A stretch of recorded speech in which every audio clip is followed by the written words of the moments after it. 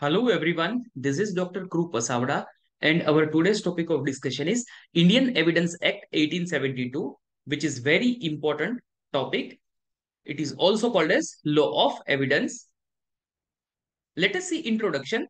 The Indian Evidence Act originally passed in India by Imperial Legislative Council in 1872 during the British Raj contains a set of rules and allied issues governing admissibility of evidence in Indian Court of Law.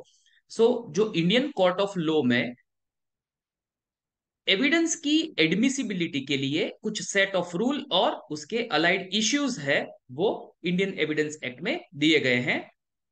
Let us see importance the enactment and adoption of IEA was a path breaking judicial measure तो उसका enactment जो है वो एक path breaking judicial measure है in India which changed the entire system of concept pertaining to admissibility of evidence in Indian court of law so ये जो Indian evidence act है, उसकी वजह से पूरा एक एंटायर सिस्टम है, उसके कॉन्सेप्ट पूरे चेंज हो गए to admissibility of evidence in Indian court of law history देखेंगे the Indian evidence act Identified as act number one of 1872 so 1872 में ये एक्ट नंबर वन था and called Indian Evidence Act 1872 and came into force on 1st September 1872. So this is also very important.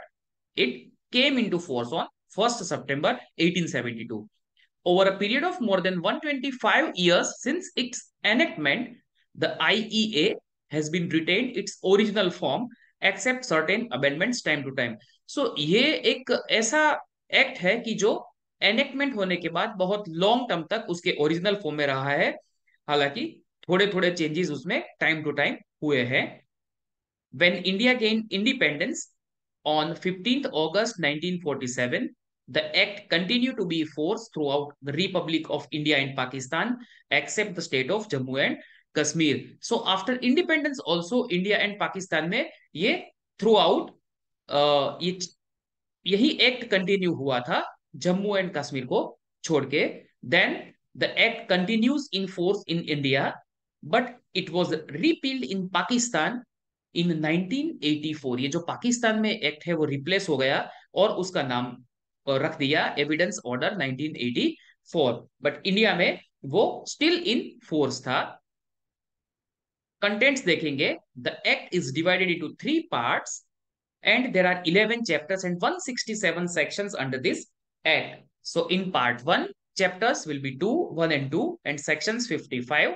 In part 2, there will be 4 chapters, uh, 3 to 6 and 46 sections and in part 3, 5 chapters, 7 to 11 and 66 sections.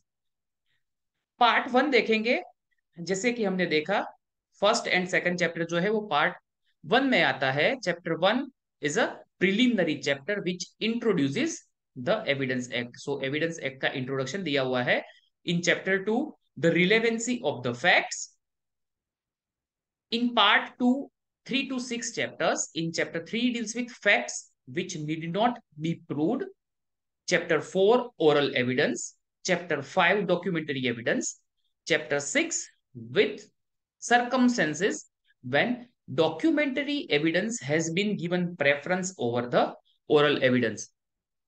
And in part 3, 7 to 11 chapters. So uh, chapter 7 talks about the burden of proof. So this is very important. Uh, burden of proof यह साबित करता है that you are right. आप सही है.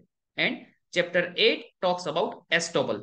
estoppel भी एक नया वर्ड है. So estoppel का मतलब है प्रतिरोधी. किसी व्यक्ति को कोई विशेष दावा करने से एस्टोपल रोकता है chapter nine talks about witnesses chapter ten talks about examination of witnesses chapter eleven talks about improper admission and rejection of evidences. So this is all about uh, Indian Evidence Act 1872. Thanks for watching this video. You can subscribe this channel, click bell icon and share this video amongst your friends. Thank you.